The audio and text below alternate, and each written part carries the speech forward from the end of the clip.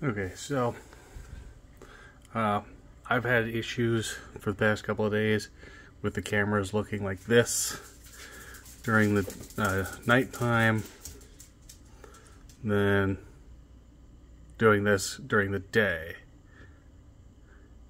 Just completely going out for a while, then you know it it's off and on type deal.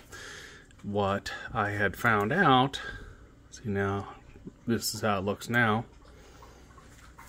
What I had found out is this box that powers that powers all my cameras this had gone bad. And you know you don't find any information about it from Annke. Uh, they don't tell you anything. You when you look up all these you know symptoms you know the fuzzy screen or it's not working at night or not working at daytime. They tell you all these things to do. They tell you to go through all the settings and this and that. But if your cameras if your cameras are going through and they look grainy like this and have or have like lines like that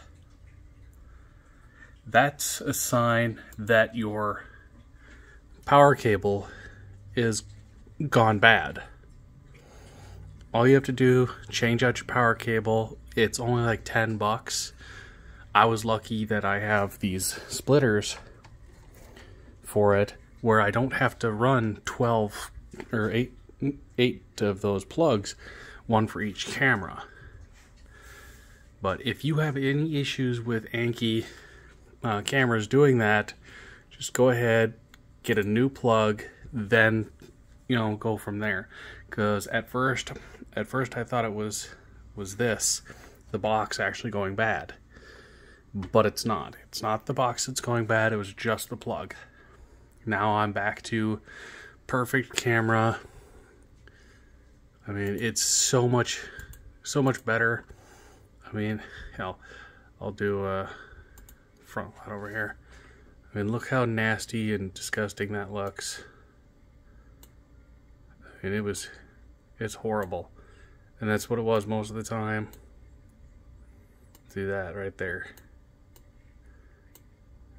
Like, it, it would, it's there, then it's not. It just, it just bug out.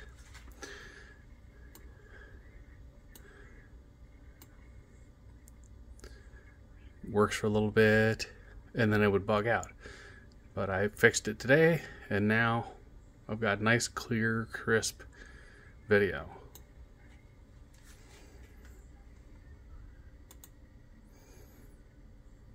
So much better. So again, if you have an issue with an Annke camera where it, it has lines or it's grainy and they turn off it at one time but then work other times. Or one will go down and then another and then another. Swap out your power cables first before anything else